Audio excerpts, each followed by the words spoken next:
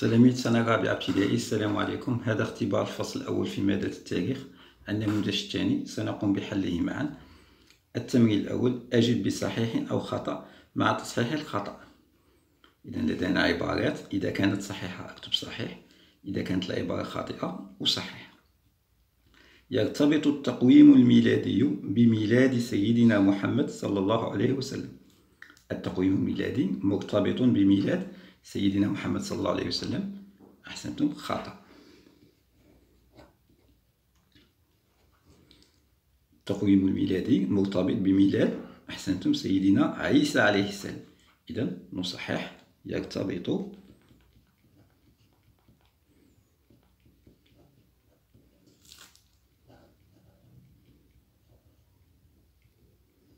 يرتبط التقويم الميلادي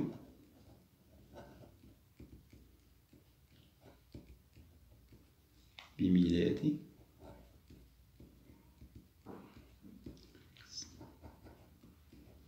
سيدنا عيسى عليه السلام.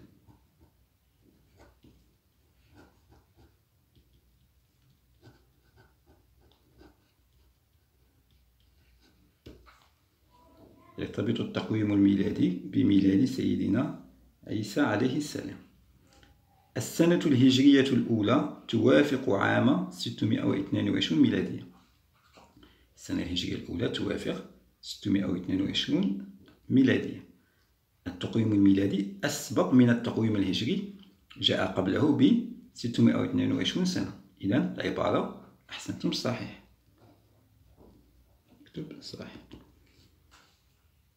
يوم الاستقلال يمثل تاريخا معلميا عالميا.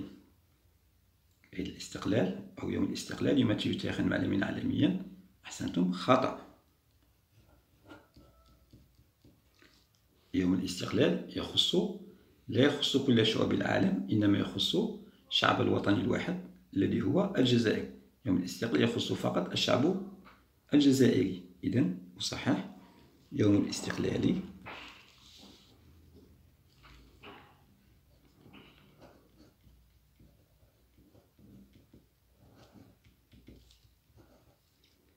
يمثل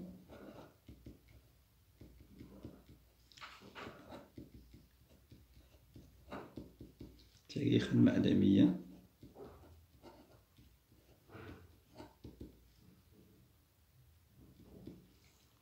وطنيا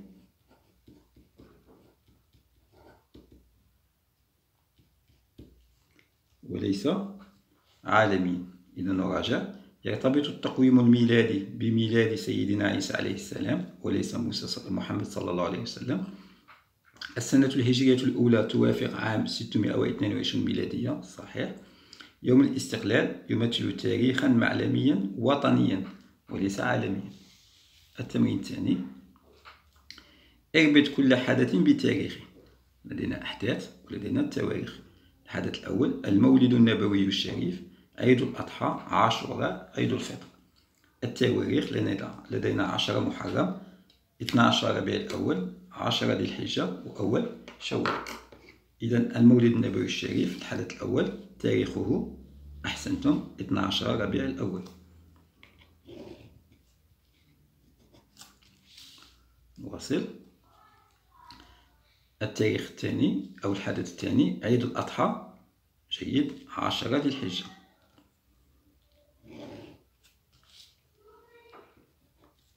الحدث الثالث عاشوراء تاريخه. جيد. عشرة محرم.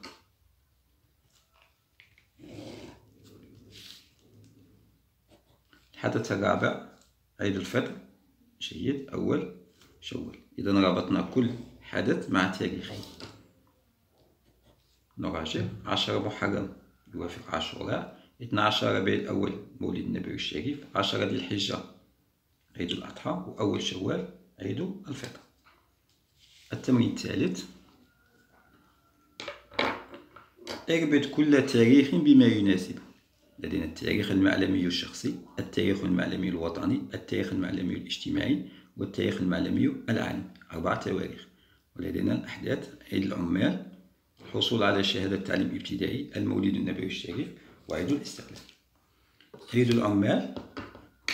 نبدأ من هنا أفضل. عيد العمال. يخص كل شعوب العالم. كل شعوب العالم تحتفل بعيد العمال. إذا نقول أنه تاريخ معلمي أحسنتم عالمي التاريخ المعلمي عالمي. يخص كل كل شعوب العالم. الحصول على شهادة تعليم ابتدائي جيد. التاريخ المعلمي الشخصي يخص شخصا أو أشخاص معينين.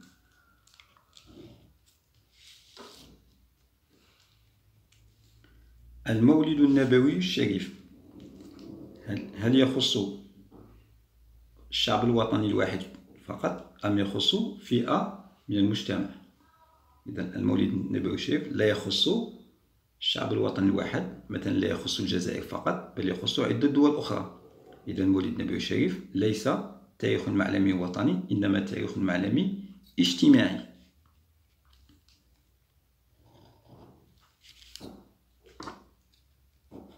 لأنه لا يخص الشعب الوطني الواحد. عيد الاستقلال يخص فقط الشعب الجزائري إذا تاريخ معلمي وطني. إذا لدينا كل التاريخ ومثال على التاريخ. التاريخ المعلمي الشخصي مثال الحصول على شهادة تعليم ابتدائي. التاريخ المعلمي الوطني مثال عيد الاستقلال.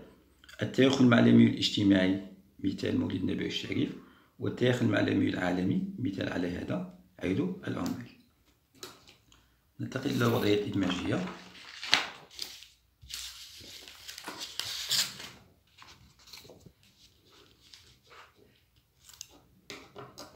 قسم المؤرخون التاريخ إلى أربعة مراحل التاريخية المؤرخين قسموا التاريخ إلى أربع مراحل المرحلة الأولى الثانية الثالثة والرابعة. المطلوب هو كتابة المرحلة من متى بدأت ومتى انتهت. تمتد من إلى. إذا المرحلة الأولى أحسنتم مرحلة التاريخ القديم.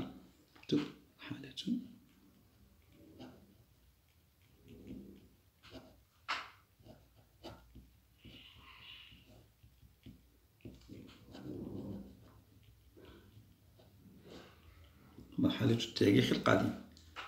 منذ بد... متى بدأت تمتد من أحسنتم منذ اكتشاف الكتابة. إذا بدأت مرحلة التاريخ القديم منذ اكتشاف الكتابة. تمتد من اكتشاف الكتابة.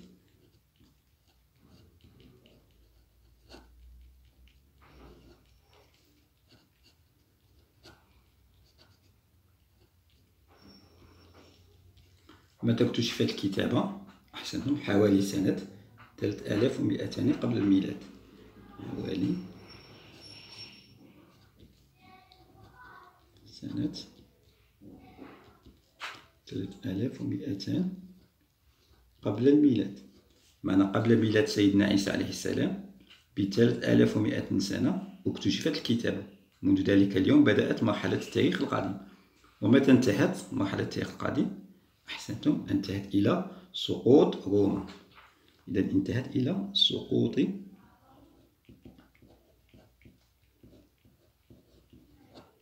سنة أحسنتم أربعمائة وستة وسبعون.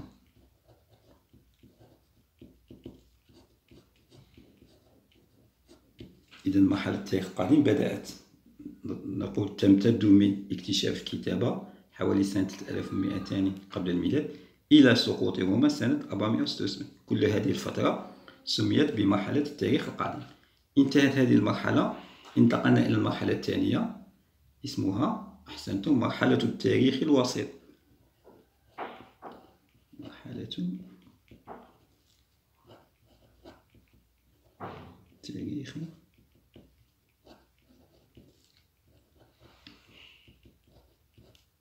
الوسيطي متى بدأت هذه المرحلة؟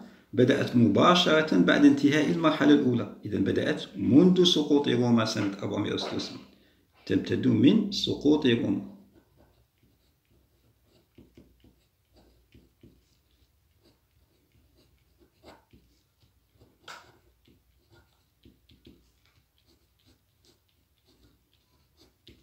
إلى غاية متى انتهت أحسنتم إلى فتح إلى فتح القسطنطينية سنة 1453 إلى فتحي.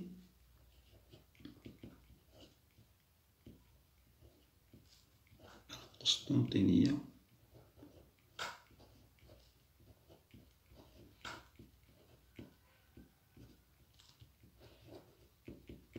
سنة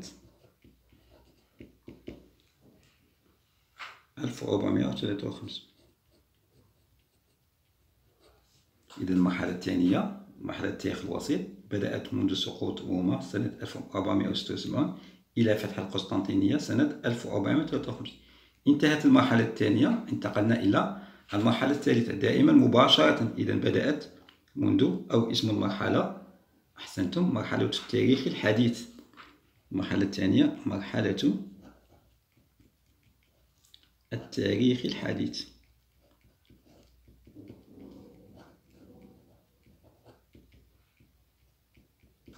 مرحلة التاريخ الحديث. قلنا مباشرة بعد انتهاء المرحلة الثانية بدأت. إذا تمتد من فتح القسطنطينية سنة 1453 من فتح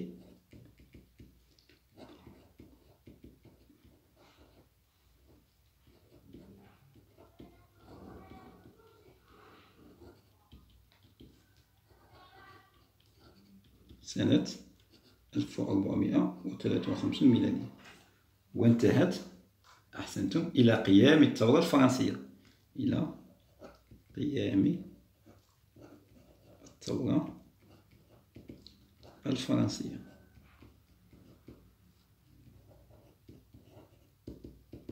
سنة 1789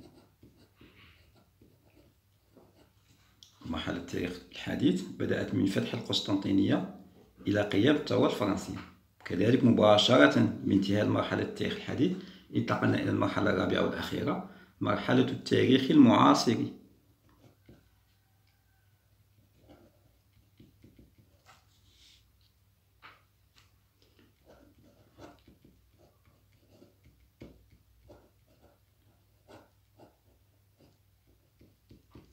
تمتد كذلك نفس الشيء مباشرة بانتهاء المرحلة الثالثة إذا تمتد من قيام الثورة الفرنسية. إذا تمتد من قيام الثورة الفرنسية.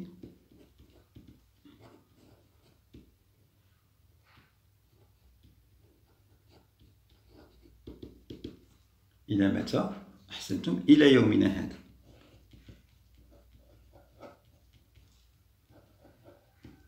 إذا اليوم سنة 2019 نحن في مرحلة التاريخ المعاصر. ما زالت مستمرة مرحلة التاريخ المعاصر إلى يومنا هذا الذي نحن فيه. إذا قسم المؤرخون التاريخ إلى أربعة مراحل تاريخية.